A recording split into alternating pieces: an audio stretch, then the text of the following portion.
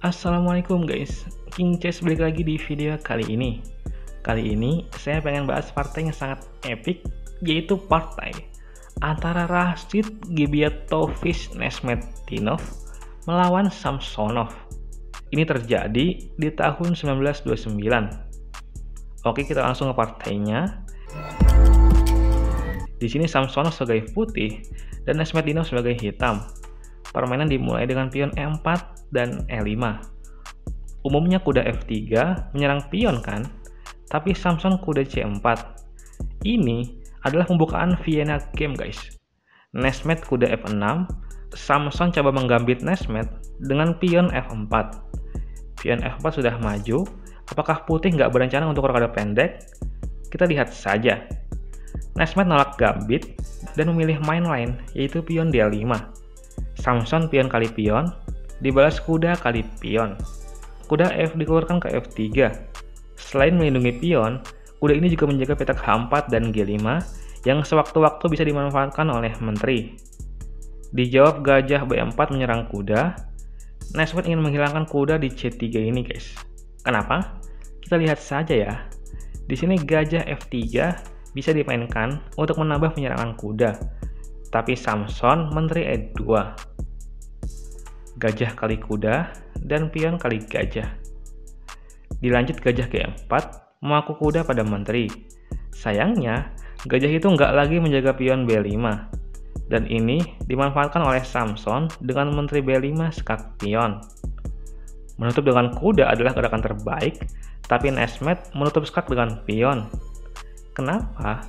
Karena dia ingin menghabiskan tempo milik lawannya untuk men-setup sebuah pola skakmat ya kalau menteri nanti makan pion dan makan benteng terus menteri keluar posisi raja nggak tersekak ya karena ada kuda. Oke Samson menteri kali pion menyerang benteng. Banyak orang beranggapan Nesmadinov ini lebih brutal dari Mikhail Tal guys. Di posisi ini dia nggak memainkan kuda D7 untuk melindungi benteng tapi memilih makan kuda dengan gajah. Ini adalah gerakan brilian guys salah satu variasinya adalah seperti ini jika menteri kali benteng, hitam rokade pendek, menteri kali pion. Ada menteri H4 sekak, pion menutup, kuda kali pion, pion kali kuda, menteri kali pion sekak, menteri menutup, menteri kali pion sekak, gajah menutup, dan gajah kali benteng. Hitam unggul satu pion dan posisi yang lebih menekan. Oke di sini, setelah menteri kali benteng, Nesmet lagi-lagi brutal dengan memakan pion pakai gajah. Selain nyerang benteng, alasan dia merontakkan pion di sayap raja memang brutal, yaitu untuk membawa menterinya ke H4 sekat dan meninggalkan penjagaan pada kudanya. Dan menurut engine, ini gerakan blunder guys. Tapi balasan Samson di sini adalah gerakan blunder juga, yaitu gajah ke E2 cuy. Ini men-setup skakmat 5 langkah dan sebuah pola skakmat yang disebut dengan smothered mat. Mungkin kalian udah tahu ya, dan buat kalian yang belum tahu, saya akan sangat senang bisa sedikit sharing kepada kalian tentang pola skakmat ini. Dan semoga bermanfaat untuk match kalian ke depannya. Jelas Nesmet Menteri H4 sekat, langkah paksa Raja D1. Kuda F2 sekat, langkah paksa Raja S1. Dan kuda D3 double skak. Double skak ya, jadi nggak bisa dimakan atau ditutup.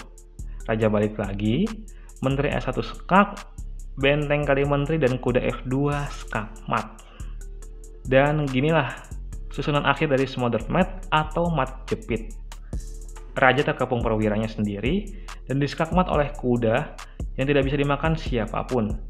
Dan oke lah guys, sekian dulu video kali ini dan semoga bermanfaat. Jika ada perkataan saya yang salah, saya mohon maaf. Salam King Chess, terima kasih.